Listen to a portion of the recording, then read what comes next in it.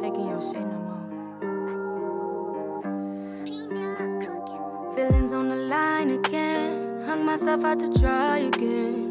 I blocked you, but I'm still hoping that you find a way to reply again. I told myself not to cry again. You got caught in a lie again.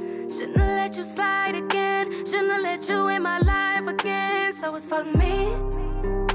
After all the shit that I put up with. Fuck me. No, fuck you. Cause after all the shit that I put up with, and the bitches that I caught you up with, I was still solid. So if it's fuck me, it's fuck you. Fuck you. Fuck you too.